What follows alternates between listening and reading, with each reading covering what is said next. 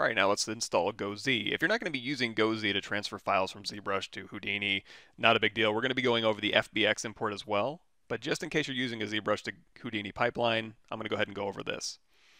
I'm also going to be posting a link to this page here, which will also walk you through the GoZ installation for Houdini, as well as have the most current downloads for our HDA, our Houdini digital asset file. So we're going to go ahead and download the one for 16.5. And instead of keeping this in my download folder, what I'm going to do is move this into a place where I store all my Houdini stuff. So I'm going to go to my Houdini folder here, go to my game dev tools, and just copy this GoZ installer 16.5, 16.5 HDA in here. Feel free to put this file wherever you'd like. So let's just move this in here. And I'm going to go ahead and copy this directory. Just Control C.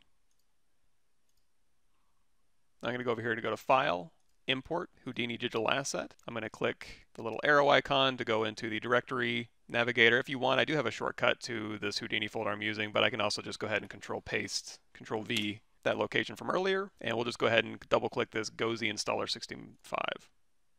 Hit install and create.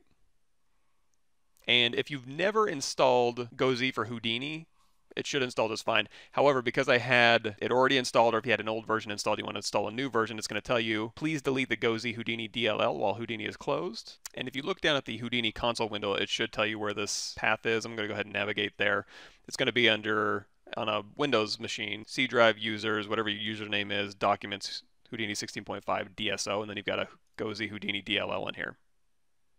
So really quickly, I'm going to go ahead and close out of Houdini. Go ahead and delete that DLL and then restart Houdini. And then again, File, Import, HDA. Because we just imported it, we can click this little down arrow and go right to it, install and create. Yay, we're installed uh, successfully, so please restart Houdini. And we'll go ahead and restart Houdini one more time. Say discard and quit. And like I mentioned before, if you haven't installed GoZ before, you won't have to go through that deleting step. So now that we have that, we're going to go up here to the plus sign. We're going to go to shelves. We're going to click on GoZ. And now we have this uh, GoZ icon and this GoZ shelf. Just go ahead and click that. And now we have a GoZ port open, so we can now send files from ZBrush directly into Houdini.